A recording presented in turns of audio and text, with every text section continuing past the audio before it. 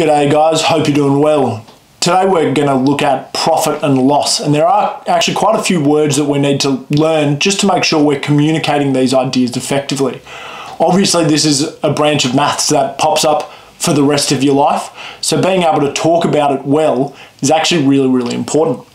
Okay, so the first word we need to know is this one called cost price, okay? And this is how much an item costs or the, the amount of money that goes into providing this service or making this thing.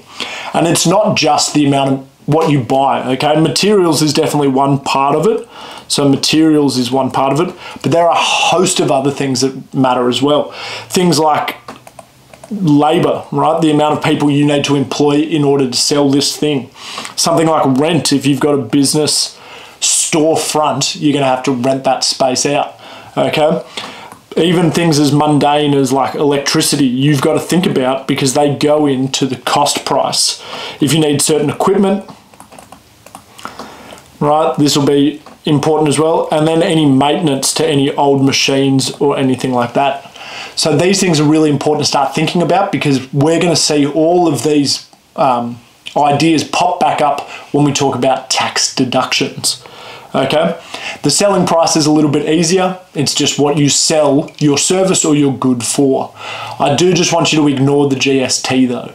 Okay, the GST is the tax that goes to the government, so we don't get that. Okay, we're only interested in how much money we make, so we're going to ignore that money that goes straight to the government. All right. So if the selling price, if we sell something for more than it costs us to make, we make a profit. Okay, this is where you want to be in the green. Okay, money's coming in.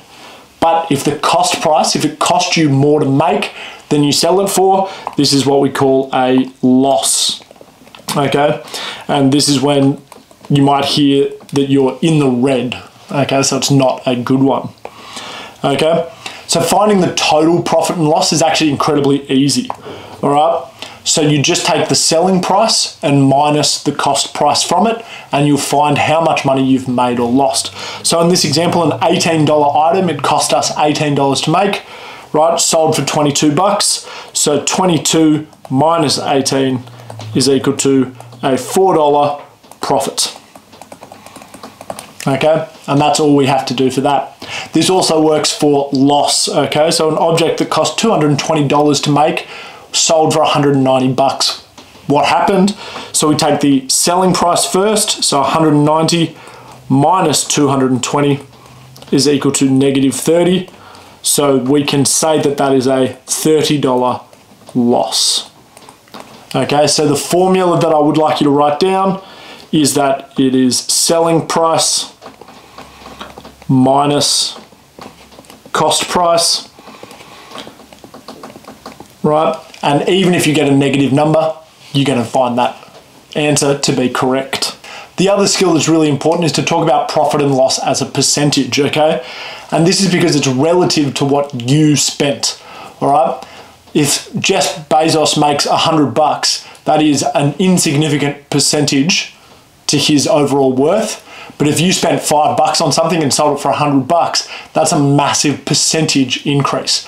So the amount you spent to start off kind of anchors the percentage that you earn. So the formula here is the selling price minus the cost price. So this is the change in price that happens divided by how much you spent up front or the cost price up front. The reason that I use the word anchor up here is because it anchors your formula. It goes on the bottom of your formula. And then you've got to times this by 100 again to find the percentage. Okay, if you just put that first part in, you'll get a decimal place, which is not what we want. Okay, we'll see this in a couple examples. So for this one, we've got $18.50 was our selling price, and it cost us $15 to make.